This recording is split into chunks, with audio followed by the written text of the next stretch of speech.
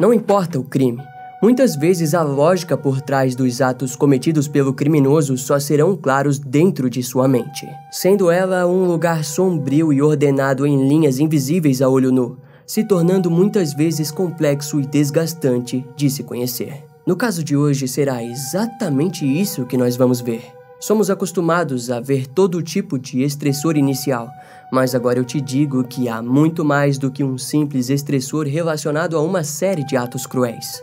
Nesse vídeo, a história será contada em meio a uma época turbulenta dos Estados Unidos, onde assassinos em série eram evidenciados e o medo reinava. Então já deixa o like nesse vídeo e ativa o sininho de notificações que eu te conto tudo.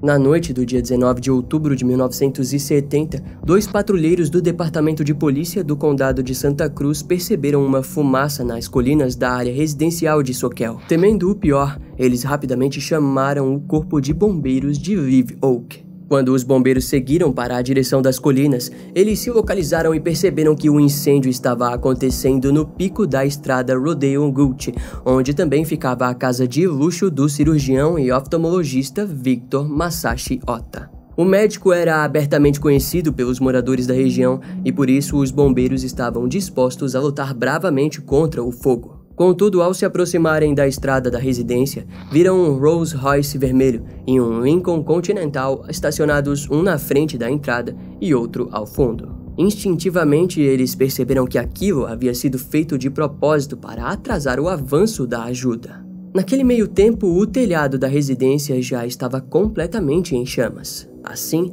um dos bombeiros quebrou o vidro do Lincoln Continental para tirá-lo do caminho. Antes da luta contra o fogo começar, os bombeiros se certificaram de que não haviam moradores presos na residência. Feito aquilo, o chefe dos bombeiros, Ted Pound, saiu à procura de um hidrante pelos arredores quando lembrou que a família Ota havia recentemente instalado um hidrante no pátio da residência como forma de segurança. Porém, para alcançá-lo, ele precisou cortar o jardim e passar pela piscina dos fundos. Foi então que, durante um breve relance, Ted virou sua lanterna para a piscina e percebeu que um corpo estava flutuando no local. Ele se aproximou e inicialmente acreditou que provavelmente a pessoa havia se queimado e tentado pular na piscina para se salvar, mas o cenário logo ficou ainda mais macabro. Ao fundo da piscina, Ted visualizou outros corpos.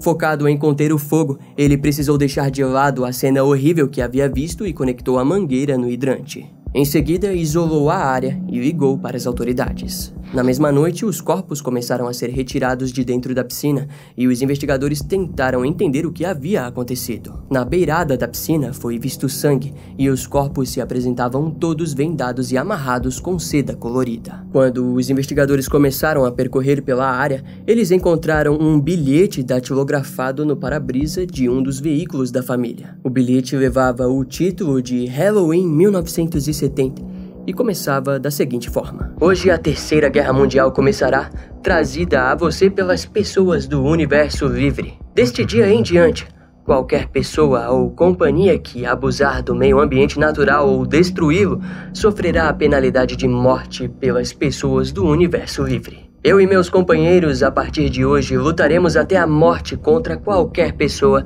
que não apoie a vida natural neste planeta. O materialismo deve morrer ou a humanidade o fará. Por fim, o bilhete estava assinado por Cavaleiro de Paus, Cavaleiro de Copas, Cavaleiro de Ouros e Cavaleiro de Espadas. A natureza ritualística do caso assombrou os investigadores, que perceberam que pareciam estar em frente a um grupo de criminosos inspirados na família de Charles Manson. Quando a noite já acabava, as vítimas foram identificadas positivamente como sendo o médico Vitor Massagiota, de 46 anos, sua esposa Virginia, de 43 anos, seus dois filhos Derek, de 12, e Tagaret, de 11 anos, e sua secretária Dorothy Cadwaller, de 38 anos. O legista informou que cada um deles havia sido baleado na nuca com uma arma de calibre baixo, mas nenhuma cápsula havia sido encontrada no local informação que preocupava as autoridades. E buscas foram intensificadas nos arredores e dentro do que havia sobrado da residência. Algumas evidências fizeram com que os especialistas da polícia acreditassem que o incêndio, de fato,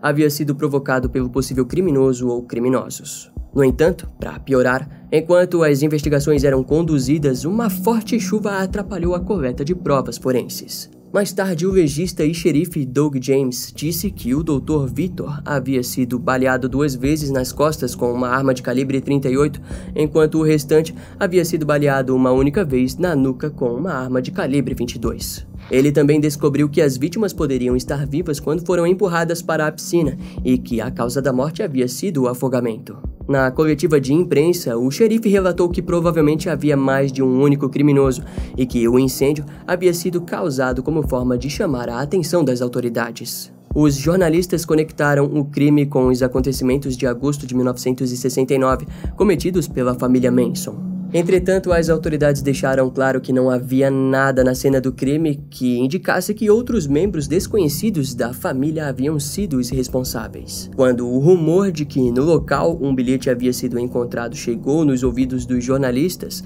eles passaram a questionar o xerife Doug James, que apenas respondeu sem comentários. Em seguida, o xerife fez um apelo para que testemunhas se apresentassem para informar se haviam visto algo diferente naquele dia. Em pouco tempo depois da coletiva, os investigadores descobriram que um dos veículos da família, um Oldsmobile 1968 da cor verde escura, havia sido roubado pelos criminosos.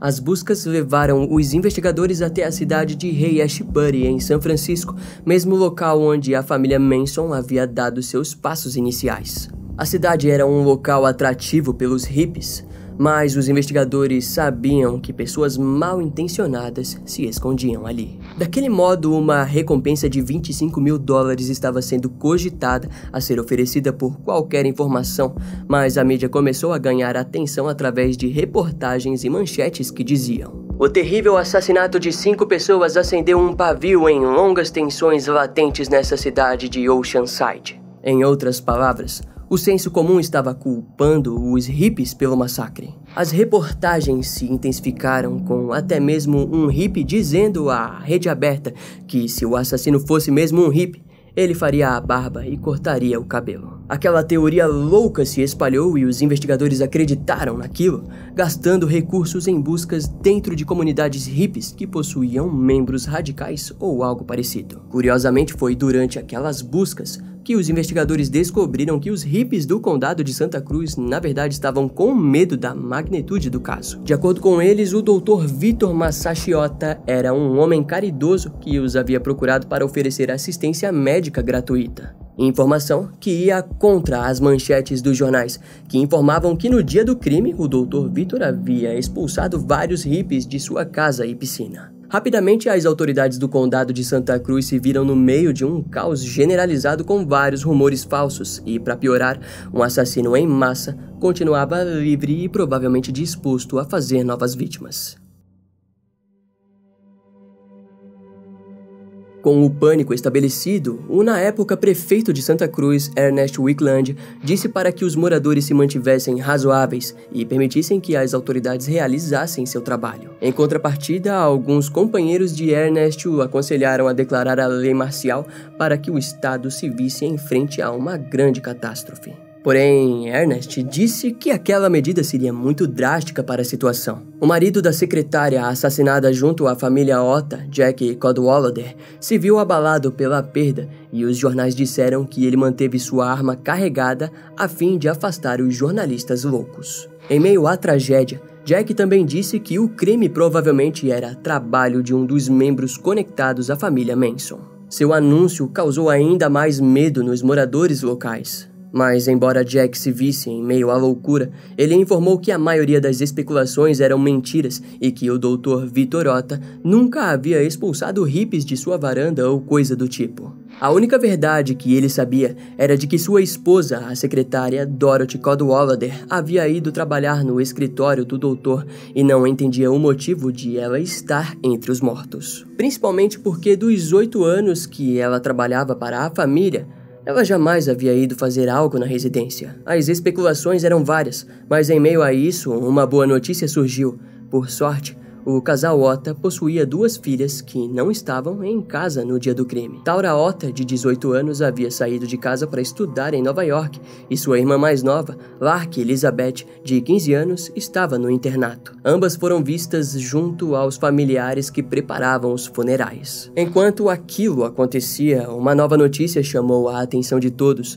O carro de Virginia Ota, que havia sido roubado, apareceu em um acidente no túnel Rincon, próximo ao Parque Estadual Henry Cowell, na Califórnia. No local foi encontrado apenas o carro e uma caçada com 200 policiais começou. As florestas próximas foram vasculhadas e várias outras áreas, como desfiladeiros, foram isoladas como forma de emboscar os criminosos. No mesmo dia, as buscas por impressões digitais no veículo foram consideradas importantíssimas. Algumas testemunhas disseram ter visto três pessoas próximas ao carro e três conjuntos de pegadas foram encontrados que levaram os policiais até o rio próximo ao túnel. Segundo uma das testemunhas, os homens pareciam possuir em torno de 20 anos, com cabelos compridos e um deles carregava uma mochila laranja. Diante o caos, todo o vale de São Lourenço foi investigado e os moradores locais estavam prontos para brigar com qualquer pessoa suspeita que aparecesse em seus quintais. As autoridades notaram que seria impossível para os três suspeitos terem se escondido em alguma das casas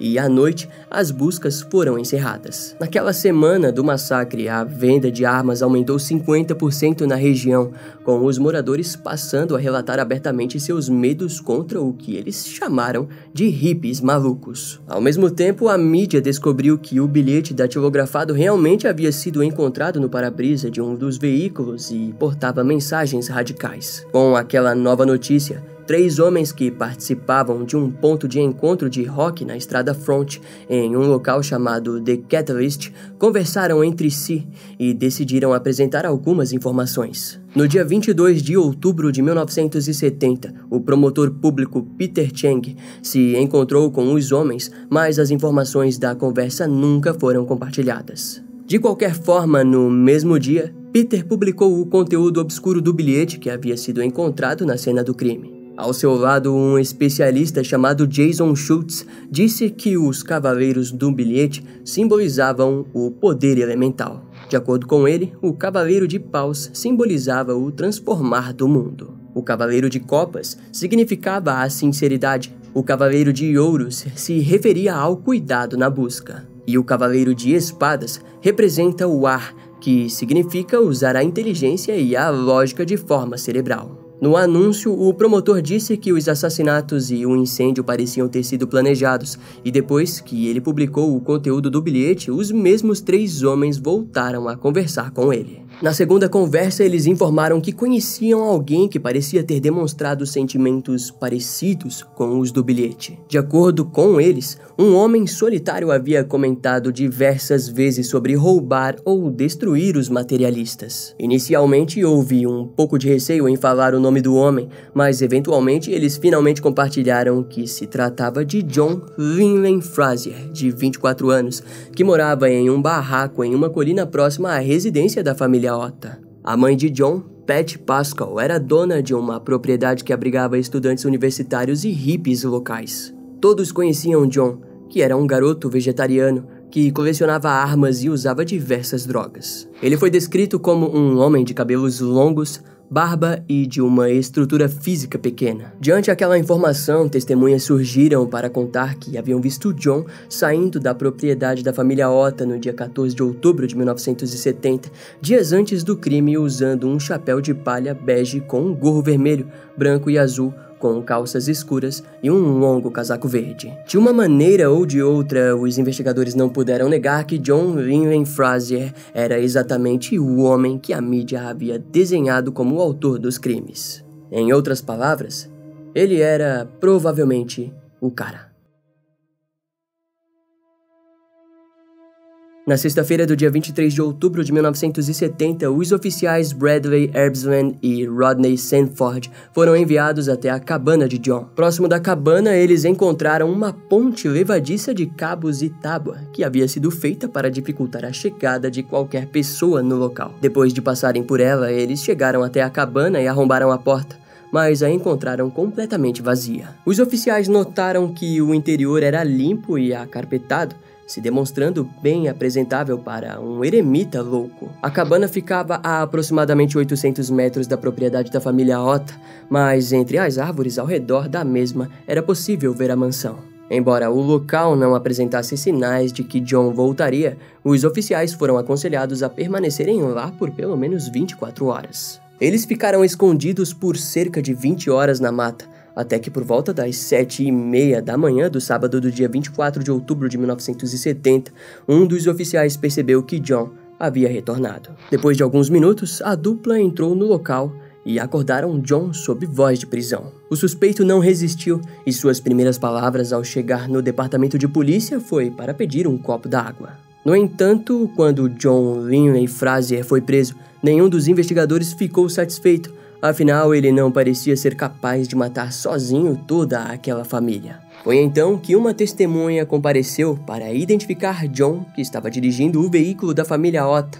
Outros três identificaram John andando pela região e outros dois disseram que o viram dirigindo de forma descontrolada pelas ruas com o veículo. No sábado, o juiz Donald May, do Tribunal Municipal, acusou John por cinco acusações de assassinato. No pré-julgamento, em sua defesa estava James Jackson, que entrou com uma declaração de inocência exigindo um exame psiquiátrico. Como provas iniciais, foram apresentadas impressões digitais encontradas na máquina de escrever da família Ota e em uma lata de cerveja intacta na casa incinerada, que eram compatíveis com as de John. Enquanto aquilo acontecia, os jornais questionavam as autoridades sobre o testemunho dos três jovens de cabelos longos vistos no túnel em que o carro da família havia sido encontrado e também alegaram que um homem sozinho não poderia ter feito aquilo. Foi então que a explicação surgiu. De acordo com as investigações, Virginia Ota não havia buscado seus filhos na escola naquele dia. Assim, o Dr. Victor e a secretária Dorothy haviam saído em horários diferentes para buscar as crianças. Em resumo, significava que todos os cinco haviam chegado em horários diferentes na mansão, indicando uma certa facilidade para John matar cada um deles. Ao que parece, a primeira vítima a ser amordaçada foi Virginia Ota e depois o restante conforme chegavam na residência. Um dos amigos de John disse aos jornais as seguintes palavras: Ele parecia ser a última pessoa que faria algo assim. Ele deve ter tocado em dois shows diferentes. Os dois shows eram em referência de que John era um homem de família com uma esposa e um filho de 5 anos e que atuava como mecânico em um trabalho comum, mas que antes dos crimes havia simplesmente decidido abandonar tudo e dar início a uma vida como um hippie. Entre aspas, de repente, ele parecia apenas mais um hippie. Ele usava um símbolo estranho em volta do pescoço em uma corrente e muitas vezes andava sem sapatos e até sem sobrenome. Ele queria ficar sozinho. Quando os antigos colegas de classe foram ouvidos, os relatos eram relativos e variavam de um cara durão até o de nunca foi um problema. A ex-mulher de John, Dolores, informou que havia ajudado o seu ex-marido a limpar a cabana dele e disse que um dia antes do crime ele saiu com uma pistola carregada, um par de binóculos e uma mochila laranja com suprimentos. Dolores contou que John era fascinado em livros sobre tarô, mas antes do crime disse que não precisaria mais deles. Os três homens que haviam levado a polícia até John começaram a receber ameaças e, em resposta, eles deram a seguinte declaração: Somos todos cidadãos do Condado de Santa Cruz e estamos todos preocupados com o que aconteceu aqui esta semana e com o que pode acontecer se o ódio e a hostilidade continuarem a crescer entre os héteros e cabeludos. É tolice desconfiar uns dos outros agora. A prisão de John causou um tumulto notável, com uma intensa campanha para a segurança do prisioneiro.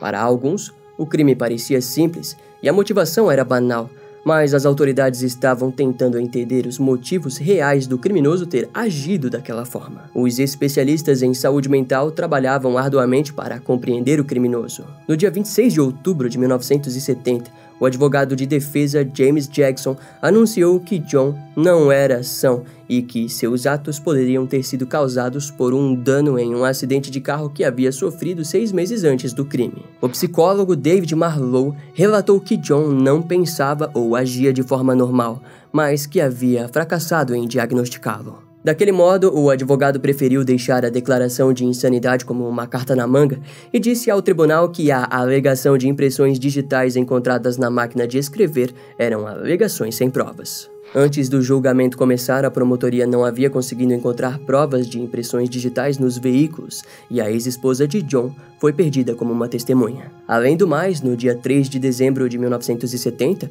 John causou tumulto ao chegar no tribunal com metade da sua cabeça e rosto raspados, incluindo sua sobrancelha. Segundo a defesa, ele estava fazendo aquilo para que o júri achasse que ele fosse um louco. O julgamento foi marcado para o dia 25 de janeiro de 1971 e, em um novo pré-julgamento, John olhou para Dolores, que estava sentada no banco de espectadores, e ele mandava um sorriso para a mulher e dizendo que estava tudo bem. Depois de uma tentativa de suicídio na prisão, o julgamento foi adiado novamente e a defesa pediu uma mudança de local, sendo então transferido para a cidade de Redwood, em São Francisco. O julgamento começou oficialmente em outubro de 1971 sob a supervisão do juiz Charles French. No primeiro dia do julgamento, os promotores mostraram novas provas envolvendo impressões digitais. Quatro semanas depois, o júri foi levado até a residência onde o crime havia acontecido. No local, manchas de sangue ainda eram visíveis, e quando foram levados até a cabana de John, o mesmo parou para brincar com um cachorro de rua. De repente, enquanto caminhavam, o criminoso chutou bruscamente a lataria de um carro abandonado na região, ação que espantou os jurados e todos os presentes. Ao fim, o júri acabou condenando John por cinco assassinatos, mas o advogado de defesa trouxe a sanidade de John como um problema e a sentença foi adiada. De acordo com a defesa, John havia ouvido vozes de Deus que ordenaram a buscar vingança contra pessoas que violam o meio ambiente. A defesa, como forma de mostrar o nível mental de John, explicou o que havia acontecido naquele dia. Segundo eles, John foi até a mansão da família Ota, onde encontrou peles de animais dentro da casa e acabou rendendo Virginia Ota. Ele amarrou suas mãos com os lenços de seda coloridos e na residência encontrou uma arma calibre 22. Quando Dorothy Codwallader chegou ao lado de Taggart, de 11 anos, John logo os amarrou e em seguida Victor e seu filho Derek, de 12 anos, chegaram para também serem rendidos. Primeiro, John levou Victor até a beira da piscina e discutiu sobre o materialismo com ele. Mas, segundo o criminoso, Victor começou a suborná-lo com bens materiais e, irritado, John o empurrou na piscina. Enquanto Victor se afogava, John atirou três vezes nas costas do homem. Em seguida, trouxe o restante dos familiares que ficaram aterrorizados com o que viram. John os questionou se acreditavam em Deus e, quando eles confirmaram, ele caminhou atrás de cada uma das vítimas e atirou na base do pescoço, as matando rapidamente.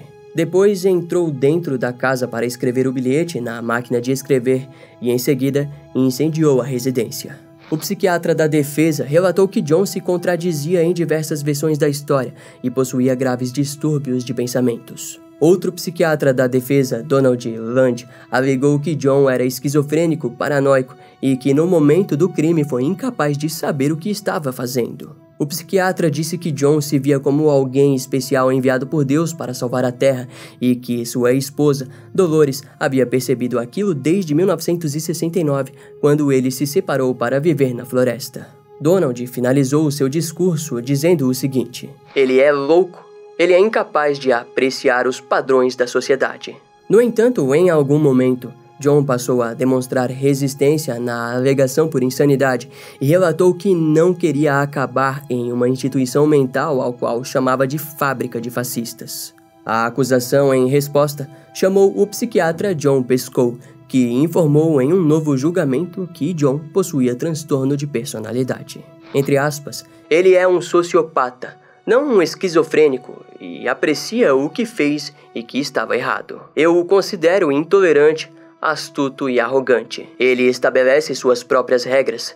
Ele desconsidera os sentimentos dos outros, disse o psiquiatra. Daquele modo, o júri, no dia 29 de novembro de 1971, condenou John Linley Fraser culpado de cinco assassinatos e o sentenciou à morte. No entanto, em 1972, a Suprema Corte declarou a pena de morte como inconstitucional e a sentença foi rapidamente convertida em prisão perpétua. Ao fim, pouco se sabe sobre a vida de John, ele se casou e teve um filho, mas de repente começou a usar drogas e a mudar sua forma de pensar. Atitudes essas que o levaram à separação. Pouco tempo depois, se tornou fanático em ecologia e largou seu emprego porque não queria contribuir para o ciclo de morte do planeta. Em seguida, se mudou para o terreno que sua mãe possuía nas colinas de Soquel, onde passou a viver em uma pequena cabana. Em seu tempo livre, John estudou sobre tarô e passou a ficar paranoico. Como resultado, seus amigos hippies que pregavam por paz e amor acabaram se afastando dele. Quando se viu sozinho, John se tornou um eremita. Os poucos amigos que ainda viam John de vez em quando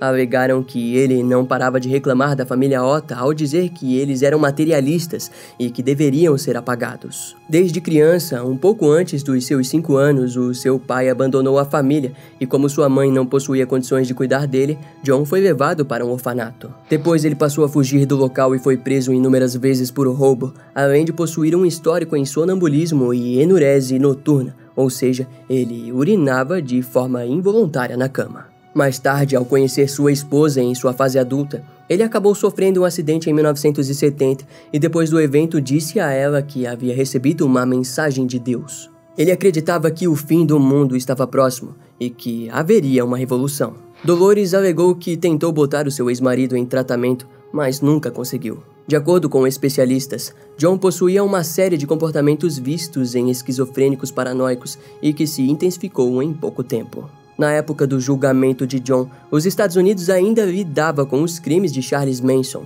e por aquele motivo não conseguiram entender em como a condição mental de John influenciou em seus crimes. De qualquer maneira, vidas foram perdidas em decorrência de suas atitudes em um estado de completa psicose.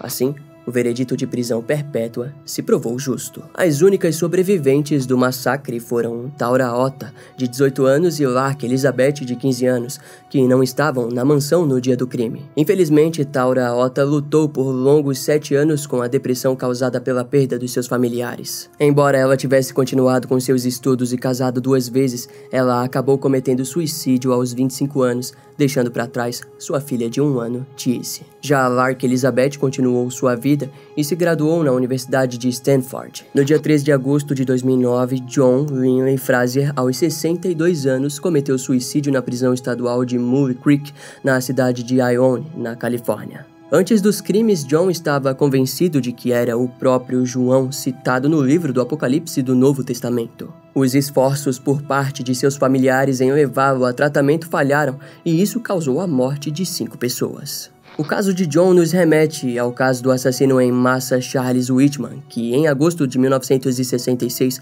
matou 16 pessoas de cima da torre da Universidade do Texas. Ambos foram observados como doentes e o tratamento era uma opção, mas ao mesmo tempo era uma luta impossível de vencer. A realidade já havia sido deturpada e transformada em uma grande missão que deveria ser cumprida de uma forma ou de outra. Ao fim, na mente de John Lennon Fraser, não bastava ele apenas parar de dirigir por conta da poluição, mas ele também precisava se livrar daquilo que ele achava que era ruim, ou seja, cortar o mal pela raiz. Nem que para isso ele precisasse se tornar o próprio mal. Muito obrigado por ter chegado até o final desse vídeo, eu espero que você tenha gostado. Não esquece de deixar um comentário aqui embaixo contando a sua opinião sobre esse caso. Se você quiser, você pode assistir todos os vídeos que ainda não foram pro ar, mas que já foram produzidos, apenas clicando aqui embaixo em Seja Membro e se tornando membro desse canal. No mais, você pode continuar assistindo os meus vídeos de casos criminais clicando no primeiro link da descrição. Eu vou ficando por aqui. Até a próxima. E tchau!